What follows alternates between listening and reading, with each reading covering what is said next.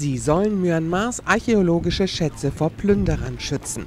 Diese Polizisten streifen durch Bagans Tempellandschaft, die noch im vergangenen Jahr eine halbe Million Besucher empfing. Wegen der Corona-Krise dürfen Touristen das UNESCO-Weltkulturerbe seit März nicht mehr besuchen.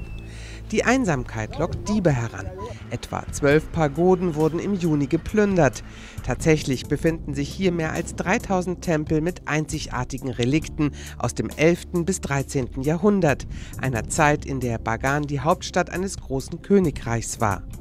Die Plünderer hätten das nicht tun sollen. Bagans Tempel werden es nicht tolerieren. Es gibt einen Fluch in den Tempeln, der den Einbrechern Unglück bringen wird.